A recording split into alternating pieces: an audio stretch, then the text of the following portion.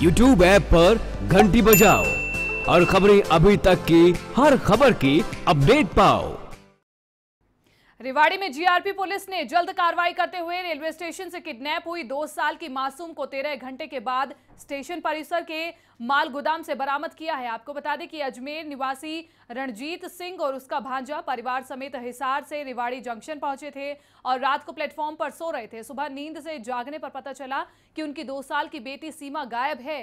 इसके बाद परिवार ने इसकी सूचना पुलिस को दी, जिसके बाद पुलिस ने बिना देरी किए बच्चे की तलाश शुरू कर दी, जिसके बाद देर शाम एक व्यक्ति और एक महिला को बच्चे को स्टेशन की तरफ़ ले जाते हुए देखा गया, जहाँ रेलवे स्टेशन पर महिला ने गोदाम के पास पहुंचकर बच्चे को अपने से थोड़ी दूर पर बिठा दिया और इसी दौरान पुलिस ने बच्ची और महिला को हिरासत में ले लिया।